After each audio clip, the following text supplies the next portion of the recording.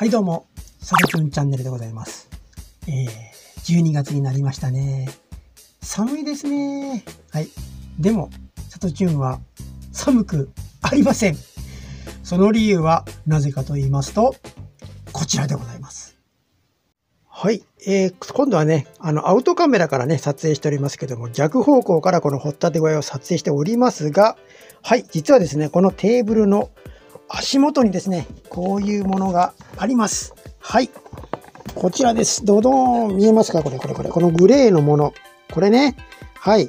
これがですね、今回、ブルーキンさんからね、ご提供いただきました。足元パネルヒーターをね、置いているからポカポカなんですね。はい。でですね、まあ、このように、ま、足元を温めるだけじゃなくてね、まあ、こういう布毛布？これもついてるんですよね。これをですね、この上からかけることで、まるでですね、もうこたつのようにもポッカポカ。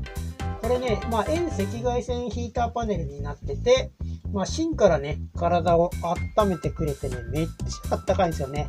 で、今現在、この部屋、ストーブね、もう切ってます。あの、最初温める時だけね、ストーブ使いますけども、えー、4、5分ぐらい温めたらもう切ってもらって、もうこれだけでですね、もうこの12月の冬、暖かくね、快適に過ごすことができます。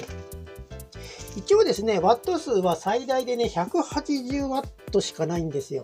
これでですね、もうかなりポカポカにすることができるんで、かなり省エネじゃないかなと思います。でね、まあ、あとこちら。はい。こちらがね、まあ、コントロールパネルになってて、まあ、これがね、電源スイッチなんですよ。はい。で、今ね、もう消えてるでしょ 消えてるでしょこれね、ある程度温まったらサーモスタットが働いてですね、えー、自動的にね、切れるようになっとるんですよ。はい。なので、かなりね、電気代もお得じゃないかなと思います。で一応強さが3段階ね、こう、まあ、今は弱にして、まあ、中、強とね、こうやってまあ、こう、出力を上げていくことができます。もう弱にするとね、多分ね、しばらくしたらもうスイッチがね、切れちゃうと思うんですね。はい。まあね、あの、こんな感じでね、足元がね、ポカポカ、あったか。まあね、下がね、あったかいとね、あの、すごくあの、何、全体的に部屋があったかく感じるんですね。はい。まあ、この後ね、まあ、電熱ベストも着ればね、もう真冬でも、雪が降る日でもね、いけるんじゃないのかなと思います。はい。まあ、そんな感じでね、今回はこちらのですね、えっ、ー、と、ブルーキンさんからね、提供していただきました。このね、足元パネルヒーターの方をね、ご紹介しました。え詳しくはね、動画説明欄の方にあのリンクを貼っておきますので、え興味がある方はぜひチェックしてみてください。ということで、さとちゅんチャンネルでした。また次の動画でお会いしましょう。